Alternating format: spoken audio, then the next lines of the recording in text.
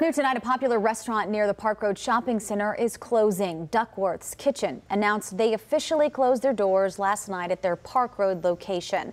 That restaurant opened back in 2009 and last year was turned into a test kitchen for its other locations in Mooresville and Uptown. In a statement, the owner says the kitchen served us well and fulfilled its purpose. They also announced the opening of another Duckworth's location at Rea Farms.